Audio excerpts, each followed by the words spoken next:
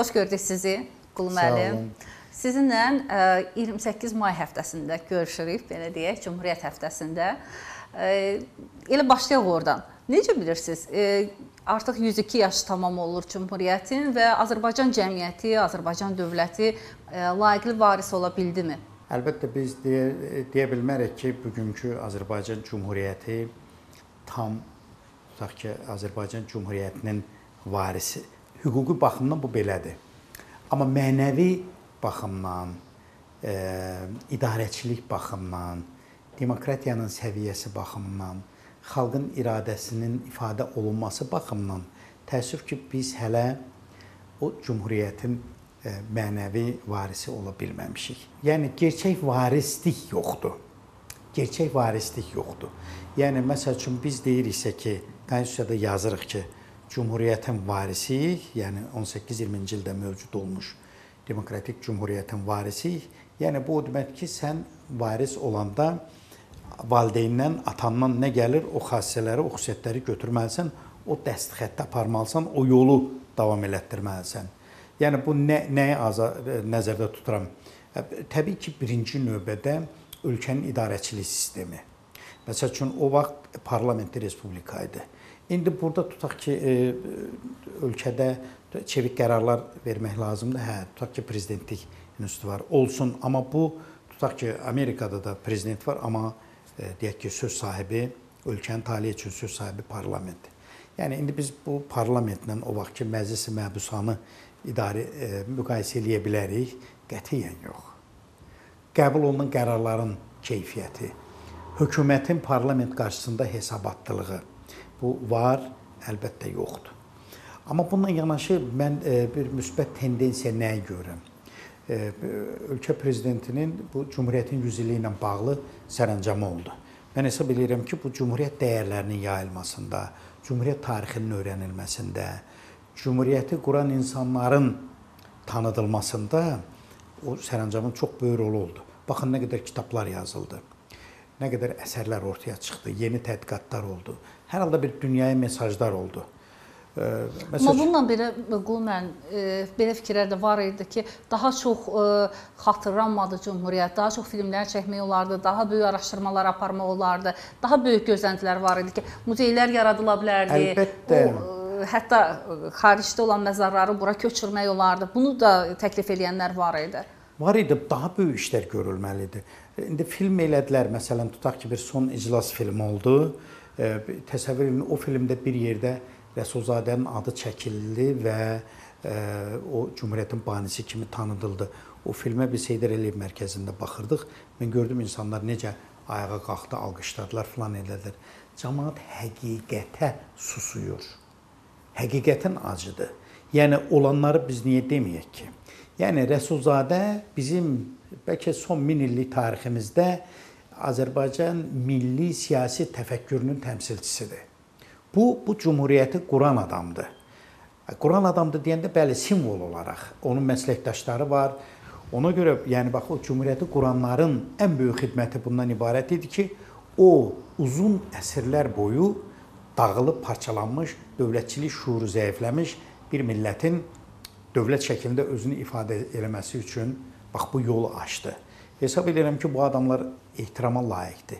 Ona görə yəni biz bu varislikdən danışanda mütləq bunları deyirik. Nə qədər ki Azərbaycanda cümhuriyyət qurucularına aid panteon yoxdur, nə qədər ki onların parlaq abidəsi yoxdur, nə qədər ki onların adlarına böyük küçələr, nə bilim kitabxanalar, universitetlər yoxdur, biz yəni hələlik varislikdən danışmağa haqqımız yoxdur. Bir də məsəl üçün e, son bir bir neçə ayda Rəsulzadənin ev muzeyini yaratmaqla bağlı bilirsiniz, mən də o təşəbbüs qrupunun içərisindəyim. Dəfələrlə bu məsələ qalxıb. İndi nə olar ki, Cümhuriyyət qurucusunun ev muzeyi yaradılsın? Bizim görkəmli şairlərimizin, yazıçılarımızın var. Bir siyasi xadimin də o Cümhuriyyətin deməli yaradıcılarından, əsas yaradıcısından bunun ev muzeyi olanda nə olur ki? Ona görə yəni bunu e, tarixdə yəni bu cür adamları qısqanmaq olmaz. Tarixdə hər kəsin, hər siyasi liderin özünün yeri var. Rəsulzadə bu cümhuriyyətin ilk dövlət başçısıdır. Milli Şuranın sədridir. Ondan sonra gələnlər var. Hərəsinin tarixdə öz yeri var. Əlbəttə bunların mənfisi də var, müsbəti də var, amma bunları biz tarixin bağrından qopardıb çıxarda bilmərik. Ona görə bilirsiniz, nə qədər buna çamur atsalar da, nə qədər gözdən salmağa çalışsalar da, heç onu sevməyən, haqqında təsəvvürü olmayan insanlar başlayırlar Rəsulzadəyə böyük simpatiya ilə yanaşmağa. Ona görə bax, cümhuriyyət bunlar deməkdir. Yoxsa indiki e, bir çox e, yəni hadisələr var ki, e, sadəcə utanc gətirir ki, yəni bu yəni cümhuriyyətdə bunlar olubmu, ola bilərmi? Demokratik dövlətdə bunlar mümkündürmü? Təəssüf ki, bu suallara müsbət cavab vermək mümkün deyil. Gəncə üsyanının da 100 ili tamam olur bu günlərdə. Azərbaycanda Sovet hakimiyyəti qurulandan sonra bunlar hiyləgərliklə Azərbaycanın içərilərinə soxulmuşdular. Parlamentə ultimatum verdilər, hökumətin dəyişdirilməsini istədilər və e, əsas iddia da bundan ibarət idi ki, bəhanə bundan ibarət idi ki, güya bu 11-ci Qırmızı Ordu e, deməli Başev Türkiyəyə köməyə gedir. E, bilmirəm Türk e, zabitləri də bu oyunun içərisində idi. Atatürklə də bağlı müəyyən məqamlar var və bunların heç birisi yalan deyil. Bütün hallarda o dövrün tarixi hadisələri bura gətirib çıxartdı. Amma Azərbaycan bir dövlət kimi hər halda onun şəkli qaldı. Yəni e, bir respublika şəklində qaldı. Və burada da 11-ci e, Qırmızı Ordu gələndə hələlik bir bir həftə falan 10 gün əhaliyə çox toxunmurdular. Amma təbii ki, güllələnmələr, güllənənlər də var idi, repressiyalar başlamışdı və s. Amma biraz ordunun sayı artandan sonra artıq güclü e, repressiyalar başladı yerlərdə. Amma onda 11-ci e, Qırmızı Ordu ki, strukturlaşır, Azərbaycanın hər yerinə yayılır. Axı Azərbaycan Milli Ordusu da var idi. Hər halda bir 20-25 minlik qoşun var idi. Bunlar Qarabağda qalibiyyətli döyüş aparmışlar ermənilərin Qarabağ üsyanını yatırtmışlar. Ermənistanla savaşda Əskəran qalasını azad eləmişlər. Bütün Şuşada, Qarabağda erməni üsyanını yatırtmışlar. Zəfər çalmış bir ordu idi. Ona görə bunun bir qismi Qarabağda qalmışdı, böyük bir qismi Gəncəyə aparılmışdı. Ona görə Azərbaycanı bu gücdən məhrum eləmək, məhrum eləmək lazım idi ki, bunun vuran əli olmasın. Ona görə də bax Gəncə üsyanı mayın 25-də əlbəttə çox yaxşı şəkildə hazırlanmışdı.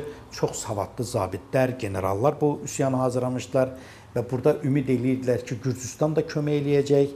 Bura e, deməli qoşun verəcək, kömək verəcək. Amma təsəvvür eləyin, təxminən 1 həftə Rus ordusuna qarşı e, güclü döyüş əməliyyatları aparılıb. İndi o Mustafa Süpinin hesabatı var. O Türk kommunistidir və e, Orcanikidze ümumiyyətlə Revkoma bunun hesabatı var. Orada da dəhşətli şeylər yazır ki, necə böyük qəddarlıqla bu üsyana yatırdıblar. Və əhali burada e, qadınlar, deyir bunların paltarlarının altından e, revolverlər çıxırdı. E, pulemyotun arxasında deməli gənc qızlar pulemyotun arxasında olublar. Yəni döyüşüblər. Yəni Az qala bizim, hər evdə bir qala, bir səngər yaradıblar. Bəli, hər ev bir qala idi. Yəni bu bizim doğrudan vicdan, namus, şərəf, qeyrət tariximizdir. Yəni bu söz deyil. Gəncə e, xanım, deməli, Cavad xandan sonra 1801-ci ildəki döyüşdən sonra bu Gəncədə ən ciddi və bizim e, milli tariximizdə xalqın öz ləyaqətini, öz namusunu, öz şərəfini qorumaq uğrunda ən böyük deməli silahlı toqquşmalardan idi. Çox adam qırıldı. Rəqəmlər müxtəlifdir. 8000 var, 10000 var, 12000 var. O vaxt bu barədə New York Times qəzeti yazıb, Avropa qəzetləri bu barədə yazıblar. Yəni qəddarlıqla yatırılan bir üsyandır. O Leninə, Stalinə e, e, deməli göndərilən teleqramlarda, yəni bunu Orjonikizə çox belə e, təkəbbürlə deyir ki, biz bunu çox qəddar bir şəkildə yatırdıq. Mən hesab edirəm ki, bunlar tarix dərsliklərində olmalıdır. Bunu araşdıran bizim çox Sizcə bunlar təbliğ olunmalıdırmı? Əlbəttə təbliğ olunmalıdır. Məsələn, tutaq ki, yalamada döyüşən 350 deməli o əskərə hesab edirəm ki, hökumət, dövlət, Azərbaycan dövləti bir abidə ucaltmalıdır. Niyə bu gizlədilsin? Bir ölkə ki basqın olur, işğalçı ordu girir. Bunun qabağını 300 nəfər, 350 nəfərlik bir alay alır. 2 saat döyüş aparırlar. Bu dünya tarixində qeyri-bərabər amma çox şərəfli döyüşlərdən biridir. İnsan əskər bilir ki, o öləcək bu döyüşdə. Gəncədə də elə idi. Qüvvə azdır. Amma bu ordunun qarşısına ləyaqətlə çıxırlar. Niyə? Çünki bir insanın, bir əskərin, bir generalın, bir zabitin əskər şərəfi var. Vətən namusu var. Yəni sən ya yaşamağı üstün tutmalısan şərəfsizcəsinə, ya da ləyaqətlə döyüşməlisən və bu xalqın, bu millətin, bu vətənin namusunu qorumalısan. Bax, həmin o yalamadakı əskərlər bu yolu seçdilər. Gəncədə döyüşənlər bu yolu seçdilər. Amerikada bir e, kiçik e, şəhər var. Adı da oxşur elə Yalamaya, e, Alama şəhəri. Orda qalada vuruşanlara abidə qoyublar, muzey yaradıblar. O əskərlərin hamısının adı yazılıb divara. Yəni biz niyə bunları araşdırmayaq, biz niyə bunları təbliğ eləməyək?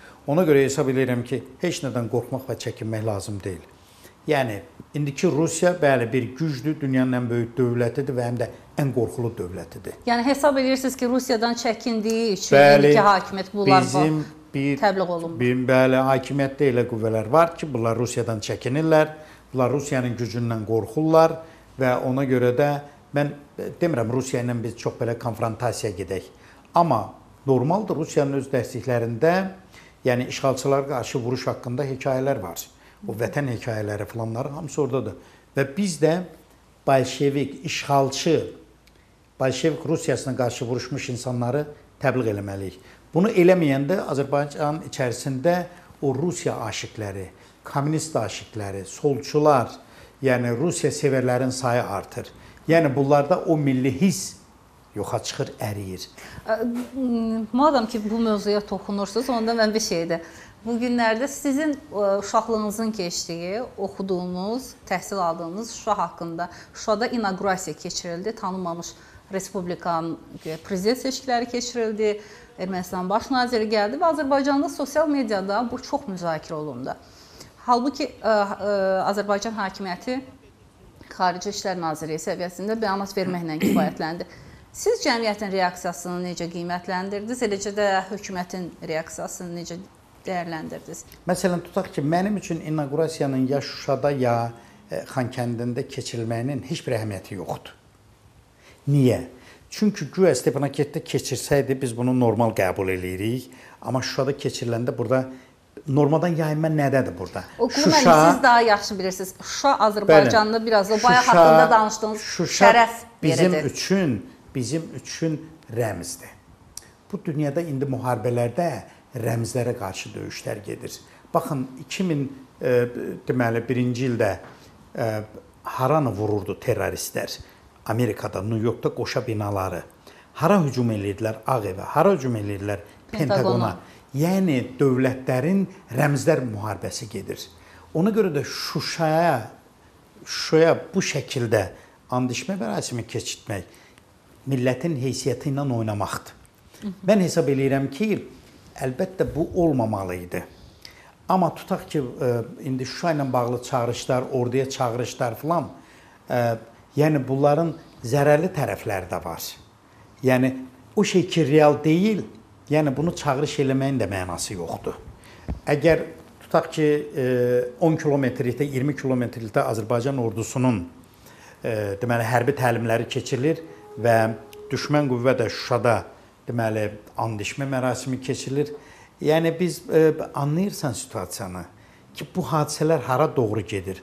Əlbəttə uzun müddət susmaq, yəni bu çox pis e, keyfiyyətdir. Bu çox pis xüsusiyyətdir. Yəni e, status quo-nu bu qədər uzatmaq, bu qədər e, deyək ki, gözləmə mövqeyində dayanmaq hesab edirəm ki, bizim üçün döyüşü uduzmuş bir dövlət üçün, bir ölkə üçün biabırçılıqdır. Bəs hansı tədbirlər görülməlidir? Mənə elə gəlir ki, elə şeylər var ki, əlbəttə bunu deməli efirdə danışmaq mümkün deyil. Amma amma hər kəsin özünün işi var. Müdafiə Nazirliyinin, Təhlükəsizlik Xidmətinin, Daxili İşlər Nazirliyinin və sair və ilaxır. Yəni hər halda bu millətin namusunu, şərəfini, qeyrətini, heysiyyatını qorumaq lazımdır. Ona görə, yəni belə impulsiv qərarlar qəbul etmək bilirsiniz, yəni çox qorxuludur. 2008-ci il təcrübəsi var, yəni Gürcüstan təcrübəsi var. Deməli Osetiya ilə bağlı, Abxaziya ilə bağlı. Yəni amma bunu o qədər incə siyasət yeridilməlidir və həm də qarşı tərəfə o boyda şanslar da verilməməlidir ki, onlar diplomatik yol varsa bunu o, o şəkildə həll etmək lazımdır. Yəni e, döyüşdə qarşı durmada bütün yollar məqbuldur. Nəticəyə xidmət edən bütün o cümlədən yollar e, sizin o yaşadığınız uşaqlığınızın Bəli. keçdiyi bölgəyə yaxın Zəngilandan, Cəbrayıldan Xudafərin körpüsünün, yeni körpülərin çəkilməsi də. Bu da deməli bir ciddi məsələdir. E, Bununla da bağlı Niyə verirəm? Çünki cəmiyyətdə çox e, Doğrudur. müzakirə Doğrudur. olunur bu Mən məsələ. hesab edirəm ki, biz e, deməli bir qrup ziyalı ölkə prezidentinə bununla bağlı müraciət eləmişik. Biz hər halda ölkədə bir Qarabağ forumunun keçirilməsini istəyirik, arzuluyuruq. Çünki bilirsiniz bu məsələni e, təkcə prezidentin çiyninə qoymaq ki, bu bütün bu məsələləri həll etməlidir. Amma necə olmalıdır ki, bu ölkə bütövlükdə, yəni elə situasiya var ki, orada bu millətin bir təmsilçisini təhqir eləmək bütövlükdə milləti tənqid təhqir eləməkdir. Yəni bu gün Qarabağda baş verənlər tutaq ki, bu təkcə Müdafiə Nazirliyinə aid deyil, bu mənə də aiddir, sizə də aiddir, başqasına da aiddir. Adı Niyə var. görə müraciət edirsiniz e, prezidentə? Biz ona görə ki, buna ehtiyac var ki, bu Qarabağ məsələləri ilə bağlı hadisəsinə görə yoxsa Tək təkcə ə, Xudafərin hadisəsi də bəli, Şuşa ilə bağlı, ümumiyyətlə Qarabağ danışıqları ilə bağlı hansı mərhələ var, hansı proseslər gedir. Bunlar sanki son 1 ilə qədər bəlli idi, amma indi heç nə aydın deyil. Hansı proseslər gedir? Çünki Ermənistanda yeni siyasi situasiyadan sonra müəyyən gözləntilər var idi. Bunlar oldumu, olacaqmı? Yəni hansı proseslər gedir? Ona görə bunların hamısı danışılası mümkün olan məsələlər haqqında mütləq danışmaq lazımdır. ümidiniz varmı prezident sizə reaksiya verəcək E, Qarabağlılara? hesab eləyirəm ki, hər halda Qarabağ məsələsi ilə bağlı, indiki proseslərlə bağlı e, ən yüksək səviyyədə, yəni prezident səviyyəsində bu məsələlərə aydınlıq gətirilməlidir. Yəni mesajlar verilməlidir. Məsələn, siz özünüz prezidentlə görüşsəydiniz, hansı sual verərdiniz Qarabağla bağlı? Bax bu münaqişə dövründə hansı sualı verərdiniz? Bu Putin deməli CNN-də e, Larry King-in qonağı olanda Larry King buna birinci sualı bu oldu ki, bu Irkutsk gəmisi nə oldu? Putin də düzdür onu çox belə sanki hazır cavab amma çox səfeh cavab verdi ki, Irkutsk gəmisi batdı. E, təbii ki, biz də soruşarıq ki, Qarabağ məsələsi nə yerdədir? Yəni bunlar bunlarla bağlı cəmiyyətə mesajlar verilməlidir. E, Məsələn, mən hesab eləmirəm ki, bu məs niyə niyə soruşulmur ki? Aydınlıq var, düzdür, buna mət mətbuatda cavablar verilir, plan eləyir. O yəni, izahlar sizi qane eləyirmi? Uzun illər siyasi şərhçi olan Qulu qa- qane Məhrəmli. eləyən cəhətlər də var, amma doğrudan İranın burada e, İranın Ermənistanla xüsusi münasibətlərinin təzahürü çox aydın şəkildə görünür. Məsələn, tutaq ki, bizə bu məsələlərlə bağlı mənim inandığım mənbə və daşıyıcı tutaq ki, Tofiq Zülfüqarovdur. Çünki bu məsələlərlə birbaşa məşğul olub, özü prezidentin xüsusi deməli elçisi olub, bu məsələlərdə danışıqlarda məsul şəxs olub. Yəni detalları bilir və e, nə- yaxşı ki, indi də onları gizlətmədən, çəkinmədən bu cəmiyyətə bu mesajları verir. Bunları bizim bilməyimizin heç bir ziyanı yoxdur və bunların deyilməyinin də heç bir ziyanı yoxdur. Yəni bəziləri hesab eləyir ki, yox bunu deməsək e, yəni yaxşıdır, yox bunu bu şəkildə dəyişdirib deyək və s. Axı bu indi e, internetin olduğu bir dövrdür. Hər yerdə biz projektorun altındayıq. Bütün danışıqlar da, filanlar da, əlbəttə gizli olmayan danışıqlar, hamısının materialları e, mətbuata açıqdır. Ona görə bəzi şeyləri olduğu kimi bu xalqa demək lazımdır. İran pozubsa burada bunu demək lazımdır. Azərbaycan diplomatiyasının aksayan yerləri olubsa bunu demək lazımdır. Varsa bu nöqsanlar bunları düzəltmək lazımdır. Yəni axı bunu bunu niyə başqa şəkil almağına biz şərait yaradırıq? Niyə şayələrin genişlənməsinə biz şərait yaradırıq? Məncə ən yaxşı yol xalqla səmimi danışmaqdır. Prosesləri bəli, Ermənistan diplomatiyası, Ermənistan indiki rəhbərləri bütün hallarda, yəni Azərbaycanı qıcıqlandırmağa, onu qeyri-adekvat addımlar atmağa e, belə bütün hallarda sövq eləməyə çalışır. Yəni bu davranışlardan bu görünür. Məsələn, Şuşa əhvalatı da niyə indiyə qədər indi bu komediyanı e, Stepanakert-də də oynamaq olar, amma belə indi Şuşada bunu oynayırsınız. Yəni nə demək istəyirsiniz? Əlbəttə ki, bunlar bir mesajdır. Bayaq dediyim rəmz mənasında ki, insanları deməli təbii halından çıxartmaq, yəni faktiki olaraq yəni bu siyasi təxribatdır. Prezidentə müraciət Qarabağ forumu ilə bağlı e, kimlər onu imzalayıb, yoxsa hələ proses davam eləyir? E, Proses davam eləyir. Yəni o e, hesab edirəm ki, o da ayrıca bir müzakirə mövzusu olacaq. Yəni bu- burada qeyri-adi heç nə yoxdur. Yəni çox rahat, yumşaq, e, yəni bu xalqın narahatlığını ifadə edən bir müraciətdir. E, İmzalayanlar da çox, yəni bu cəmiyyətin öndə olan insanlarıdır və e, hesab edirəm ki, hər halda başa düşülməyə ümidimiz var ki, biz bəzən bu müraciət adı gələndə bəzi adamlar səksənir, amma burada elə bir şey yoxdur. Qarabağ bu millətin, bu xalqın ən ümumi və yəni, bir nömrəli problemidir. İstəməyənlər var, Qul müəllim. Beləmi başa düşməliyəm mən yox, sizi? Yox, xeyr, yəni, yəni o çəkinənlər var. Yəni yox, kimsə çəkinir. O çəkinənlər həmişə çəkinir. Öndə olmaq istəyənlər, öndə olmaq istəyənlər yox. Yəni problemə münasibət bildirmək istəyənlər var. Yəni o hesab edirəm ki, normal bir e, müraciətdir və bunun e, nəzərə alınmamaq üçün heç bir əsası yoxdur. Yəni burada elə bir şey xatırlayırsınızsa cəmiyyətdə belə məsələlər olanda bu Heydər Əliyev təcrübəsi vardı. O bir də Milli Məclisdə ayrıca Qarabağ iclasları keçdi, müzakirələr oldu, falan oldu. İndi o bir başqa format idi, bir başqa yanaşma idi, məqsəd bir başqa idi, falan idi. Amma bununla yanaşı heç nədən asılı olmayaraq bu ölkənin ən ümdə problemi ilə bağlı gedən proseslər barədə cəmiyyət bilikli, bilgili olmalıdır, məlumatlı olmalıdır. Aydındır. Budur məqsəd. Azərbaycan mətbuatını siz bir ə, e, bu proseslərin içində necə dəyərləndirirsiniz? Gəlib çıxdığı nöqtəni. Deyir ki, kaş gözlər olaydı, mətbuatın bu gününü görməyəydi. Bizim mətbuat ə, e, bir neçə ildir ki, ciddi və hər tərəfli böhran içərisindədir. Yəni buna ə, e, mətbuat demək nə dərəcədə olar bilmirəm. Çünki ən aşağısı bir 15 ildir, 10-15 ildir Azərbaycan mətbuatı öz həqiqi rejisindən çıxıb o tamam başqa işlərlə məşğuldur. Azərbaycan mətbuatının ruhuna çökmüş o təbliğatçılıq ruhu gerçəyi görməyə imkan vermir. O gerçəyi görməyəndə cəmiyyət bilmir hara gedir. O gerçəyi görməyəndə hakimiyyət də bilmir cəmiyyət hara aparır. Ona görə mətbuatın missiyası nədir? Çox sadə. Cəmiyyəti məlumatlandırmaq, gedən proseslər barədə bilgilər vermək, hökumətin nə iş gördüyünü, cəmiyyətin nə düşündüyünü, bunun fikrini ona, onun fikrini buna çatdırmaq. Ona görə bizim mətbuat indi baxın e, bu mətbuata məsul olan şəxslər bir-bir vəzifədən çıxardırlar, atırlar, amma nə dəyişəcək? Doğrudanmı təmənnalı əli onun bunun gözündə olan bu qəzetlər, bu saytlar, bu media rəhbərləri doğrudanmı gerçək yola qayıda biləcəklər? Onu soruşacaqdım sizdən. Açıq şəkildə e, bildir e, ifadə olundu ki, prezidentin köməkçisi uzun illər e, yarı gizlin, yarı aşkar mətbuat üzrə, KİV üzrə e, kurasiya edən şəxs Əli Həsənov gedəndən sonra bunu sevinclə qarşılayanlar var idi və hesab edirdilər ki, bundan sonra vəziyyət dəyişəcək. Daha sonra Milli, e, Milli Televiziya və Radio Şurasının rəhbərliyi dəyişdi. Sonra e, prezident yanında kütləvi informasiya vasitələrinə Dövlət Fondunun rəhbərliyi dəyişdi. Amma dəyişən nədir mətbuatda? Siz hiss edirsinizmi nəsə baş verir? E, fundamental hələlik heç nə dəyişmir. Yenə bu media rəhbərlərinin gözü onun bunun əlindədir ki, görün bizə kim göstəriş verəcək. Bilirsiniz, ağa axtarmaq, sahib axtarmaq, yiyə axtarmaq bizim mətbuatın ən ciddi fəlakətidir. O mənim günah mətbuatdadırmı, kivdədirmi sizcə? Yoxsa onu bu duruma salan e, bilirsiniz hakimiyyətdədirmi? Burada e, konkret bir tərəf e, deməli günahkar deyil. Hər iki tərəf günahlıdır, amma əsas günah hakimiyyətdədir.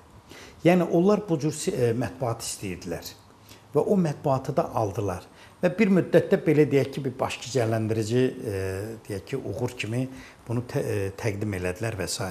Amma birdən aydın oldu ki, bu ölkədə elə proseslər gedir ki, mətbuat bu barədə heç nə yazmır, yaza bilmir. Hansı Artıq, proseslər məsələn? Məsələn, mənfi tendensiyalar gedir də. Ölkədə rüşvətxorluq var, var. Korrupsiya var, var. E, məmurlar öz vəzifələrini yerinə yetirmirlər, yetirmirlər. E, ciddi sosial problemlər var. Yalandan tutaq ki, bu rayonlarda ay gül əkirlər, yol çəkirlər, lap yaxşı. Bu e, elə idarə var ki, o yol çəkməlidir də, bunun başqa işi yoxdur. Amma ümumiyyətlə əhalinin dolanışığı, iş yerləri, insanların rifahı, güzəranı, bununla bağlı o qədər yalançı yazılar yazdılar, falan elədilər. Axı bu yerlərdə yaşayan insanlar deyir ki, bu bizə aiddirsə, burada belə şey yoxdur. Mətbuat bunu niyə yazmalıdır? Niyə yalandan gözə kül üfürülməlidir? Yəni e, bir neçə il bundan əvvəl o 2000 2010-cu illərdə e, dünyada bir iqtisadi böhran gedəndə ən ciddi səbəblərdən biri kimi böyük forumlarda danışılırdı ki, dünyada mətbuat harda səhv eləyib ki, iqtisadiyyatda bu cür əyintilər olub. Yəni söhbət gedir Guardian kimi qəzetlərdən, Financial Times kimi qəzetlərdən, Spiegeldən. Yəni bu cür qəzetlər, New York Times kimi, yəni e, trendlər niyə görünmədi, niyə tənqid olunmadı ki, yəni o iqtisadi deyək ki, e, qurumlar ondan nəticə çıxartsınlar. Yəni mətbuatın tənqidi səsini boğdular.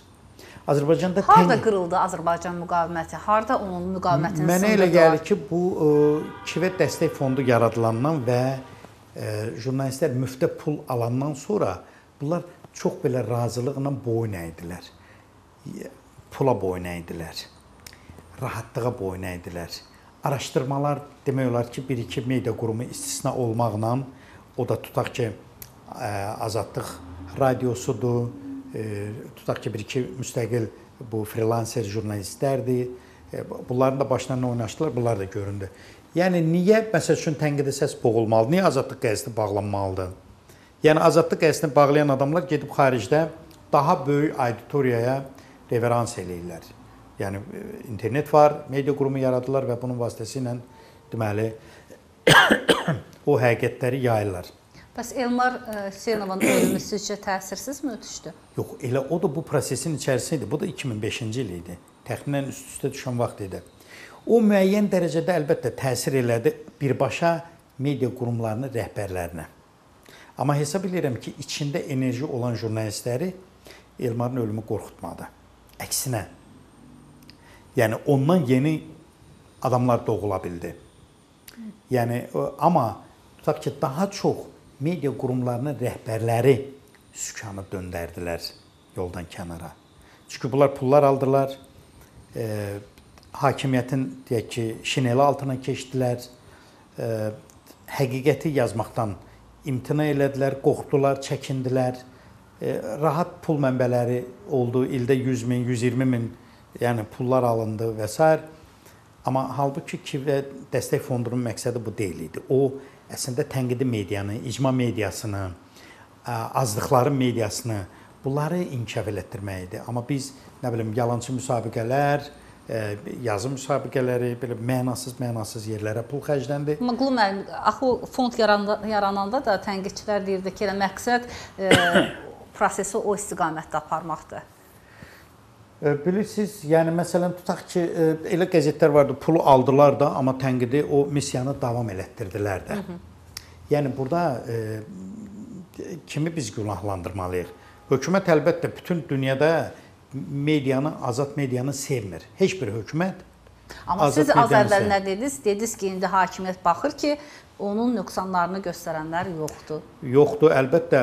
Məsələn, yəni... 190 manat məsələsi ilə bağlı nə qədər problemlər çıxdı ortaya və məlum oldu ki, indi hər halda hakimiyyətin rəsmi açıqlamasına görə problem ondan qaynaqlanırdı ki, statistika düzgün təqdim edilməyib. Buna qədər axı deyirdilər ki, ölkədə təkcə 200 min iş, işsiz yoxdur, işsizlərin sayı daha çox idi. Amma ortaya indi fərqli rəqəmlər çıxdı və hökumət bunu etiraf eləməli oldu. Güclü media olsaydı bunu bəlkə də eşidərdik prezident vaxtında. Tənqidi media, amma siz prezidentin başqa bir bəyanatında hər halda elə bilirəm ki, nəzərinizdən qaçmazdı. O dedi ki, yəni mediada ümumiyyətlə verilən məlumatlar təhrif olunmuş və yalan məlumatlar verilir. Kim verirdi bunları? Medianı idarə edən adamlar yəni öz yalanlarının mediada tirajlanmasını istəyən adamlar idi ki, mediada belə yazırlar, bu belədir. Hansı media yazır? Dünyada ümumiyyətlə azad və müstəqil media anlayışı var. Yəni bir partiyaya bağlı media, hansısa məmura bağlı, oliqarxa bağlı media heç vaxt həqiqəti yaza bilməz. Azad media deyəndə biz yəni siyasi cəhətdən azad olan heç kimin e, deməli idarəçiliyini qəbul etməyən media, müstəqil mediada bu iqtisadi cəhətdən müstəqil olan mediadır. Təəssüf ki, Azərbaycanda bu cür ideal media yoxdur. Amma bununla yanaşı tənqidçi media bütün hallarda var. Var idi. İndi də Sizcə prezident istəyirmi Azərbaycanda müstəqil media olsun? Mən onu bilmirəm. Bax dediniz, görüşəndə belə bunu soruşmaq olar. Amma deyir, bu bəyanatlarında deyir ki, siz tənqid eləyin, siz ictimai nəzarətçi olun, filan olun. Həmişə bu, bu, bu mesajlar ki, var. E, məmur ə, e, xalqın xidmətçisidir, amma biz nələr görürük? Ə, indi hər halda hüquq mühafizə orqanlarının açıqladığı, göstərdiyi kadrlarda indi biz bilmirik, onlar quraşdırmadımı, istintaq təsdiqləyəcəkmi onları? Başqa şeylər, başqa mənzərə görürük. Məmurların milyonlarını, milyardlarını görürük. Aldıqları rüşvəti görürük. Bu çox bu çox kədərli istiqamətdir. Yəni o kadrları mən görəndə fikirləşirəm, elə yazırlar da bunu əslində. Düzdür, bəzilər deyir ki, bunlar e, belə dəyişikliyin imitasiyasıdır. Azərbaycanda ümumiyyətlə bütün strukturlarda bu cür rüşvət, korrupsiya faktları var və s. Amma yəni e, demokratik cəmiyyətin əsas əlamətlərindən biri təbii ki, insan hüquqları ilə yanaşı həm də azad mediadır. Bu olmayandan sonra siz doğru dürüst məlumat almayandan sonra yerdə qalanlar hamısı təfərrüatdır. Azad media o cəmiyyətin səsi ola bilmirsə və media artıq özü o çirkabın içərisindədirsə, özü sifariş yerinə yetirirsə, e, media adda özlərinə qəşəng adlar qoyurlar da kapitanları, filanları, yəni o bir vinçin bir e, elementidirsə, yəni bu cəmiyyət mediadan nə gözləyə bilər ki? Ona görə yəni baxın 90-cı illərin əvvəllərində gedən proseslər. 2000-ci ilə qədər yəni bu proses məncə müəyyən qədər normal şəkildə gedirdi. Amma 2000-ci ildən sonra gedən proseslər medianı mən deyərəm ki, öz reysindən çıxartdı. Əlbəttə bunu sürətləndirən, buna təsir edən faktorlar da oldu. Elmar Hüseynov faktoru sizin dediyiniz kimi daha sonra KİV-DF-dən alınan pullar, insanlar var idi. Ən azından biz jurnalistlərin arasında ev almaq üçün mübahisələri, müzakirələri bəzən çox aşağı səviyyəyə enən müzakirələrin də şahidi olduq. Amma axı həbsə düşən, tə təzyiqlə üzləşən jurnalistlər də var idi. Araşdırma aparan, bunun e, cəzasını çəkən jurnalistlər də var idi, blogerlər var idi.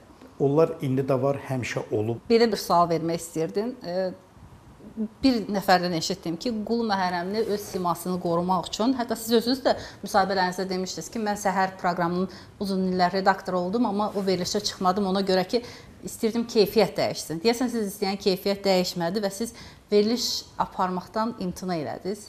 Səhər proqramı yenə deyirəm, onu televiziyanın içində televiziya adlandırırlar. Hər halda dövlət televiziyası şərtləri daxilində o e, bizim də işlədiyimiz dövrdə yaxşı proqram idi.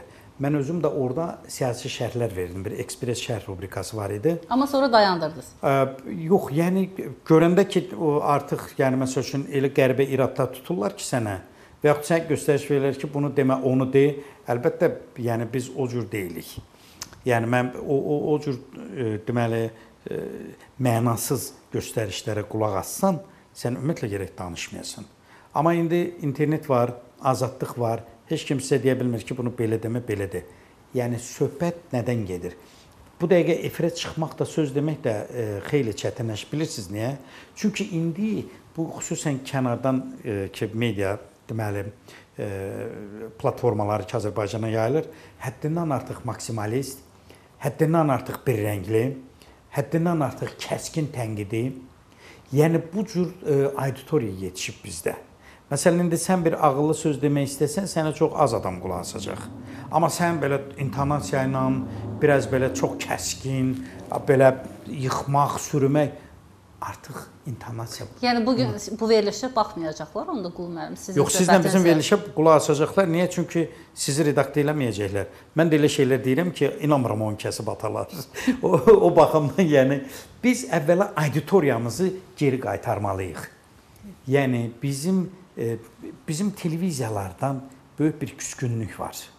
Yəni məsəl üçün baxın müəyyən tendensiyalar gedir. Məsələn ictimai televiziyada belə pluralizm görəndə adam səksənir ki, "A nə yaxşı bunlar yavaş-yavaş bunu bərpa eləyirlər." Amma başqa televiziyalarda baxırsan kosmetikadır. Yəni rəngi bir dəfə yağış, su dəyin kimi gedir. Axıra qədər bunu apara bilmirlər. Ona görə pluralizm bizim medianın, bizim televiziyalarımızın, ekranlarımızın, verilişlərimizin canı olmalıdır. Müxtəlif fikirlik olmalıdır. Yəni bu dialektikanın qanunları var da bunun birinci deyə ikinci də vaxt mən fəlsəfəni baba oxurdum. Qulu müəllim siz deyirsiniz ki, bir rəngli verilişlər, amma siz özünüz də çox loyal deyilsinizmi bəzən? Artıq bilirsiniz nətərdir? Bax mən dediyim o dalğa fonunda mən loyal görünürəm də. Yəni məsəl üçün sual verirlər ki, bunu bu şəkildə de.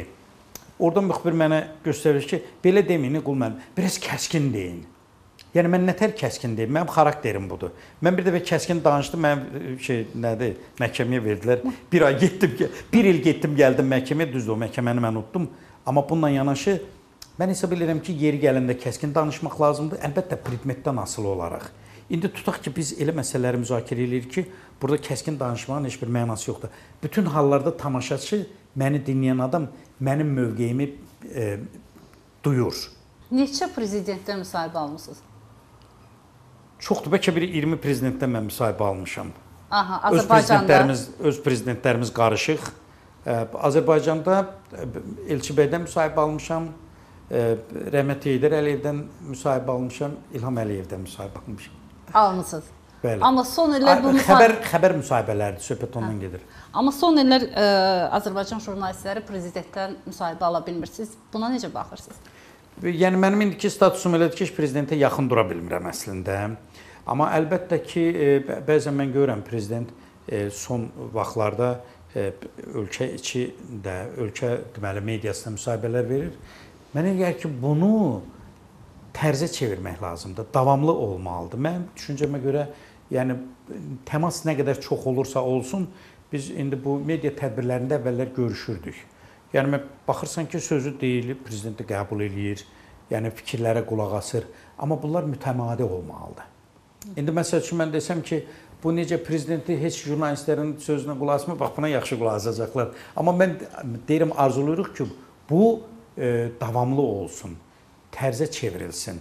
Nə olar ki, məsəl üçün indi televiziya ilə olmur, radio ilə. Tutaq ki, prezidentin vaxtı ilə olub, bizdə də var, dünya təcrübəsində də var. 10 dəqiqəlik müraciətlər olsun, radio müraciətləri olsun.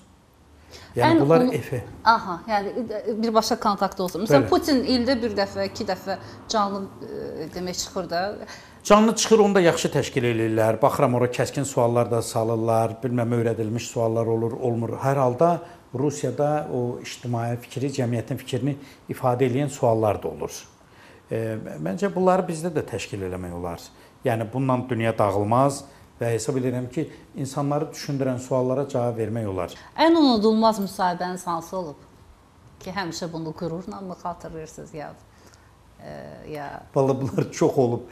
Məsələn, Tetçerdə müsahibə alanda çox maraqlı jestlər eləyib. E, məsələn, Bənəzir Buhdonu mən çox belə indi də gözümün qabağına gəlir. Bizə sual verəndə bunun təbəssümü yadımdadır, amma mə- məsələlər də mahiyyət üzrə e, deməli cavablandırır. İsrailin e, e, İshak Rabin ondan müsahibə almışam New Yorkda. Çox, yəni belə görüş etibarından maraqlıdır. Şərait var idi əlbəttə rahat. Yeltsinlə məsəl üçün e, Sual maraqlı idi. Sual vermişəm bəli. E, bu e, mən özüm də rusca siz deyən çox gözəl danışmıram. Mən ona sual verəndə dedi ki, siz Rusiya jurnalistisiniz. Dedim ki, yox, bəs mən Azərbaycan jurnalistiyəm, bəs Bakıdanam filanam. Onda Heydər Əliyev çağırdı ki, bu doğru deyir. Yəni sizin jurnalistdir. Onda da Heydər Əliyev çox maraqlı cavab verdi. Dedi ki, bu elə həm Rusiyanın jurnalistidir, həm də Azərbaycanın jurnalistidir. Yəni belə vəziyyətdən e, çıxmaq üçün. Əlbəttə e, belə maraqlı müsahibələr, siz informativ müsahibələr, mənim aldıqlarım geniş, tutaq ki, indi sizin portret müsahibə deyil, analitik deyil, informativ müsahibələr çox olub bizim e, deməli situasiyalarda. Şevarnacı maraqlı adam idi. Suallara belə e, yəni cavabı birbaşa verirdi. Ən belə e, yorucu və e, zəhlətökən müsahibə dedim o Vladimir Kazimirovun müsahibələri idi ki, adam bezirdi, yorulurdu, sözünü də kəsmək olmurdu. Kəsən kimi deyirdi bu dəqiqə cavab verəcəm sizin sualınıza belə. Olur, yəni bizim özümüzün də indi 20 il, 25 il əvvəlki jurnalist təcrübəsi ilə indiki elə deyil. İndi təbii ki, biraz daha ə, mənim fikrimə görə təcrübəli jurnalistlik. çox sağ olun. Sağ olun. Sizə təşəkkür edirəm. Bizə qulaq asan tamaşaçılarımıza təşəkkür edirəm ki, bizim bu söhbətimizə yəni vaxt ayırdılar. Sağ olun. Biz də sizə təşəkkür edirik.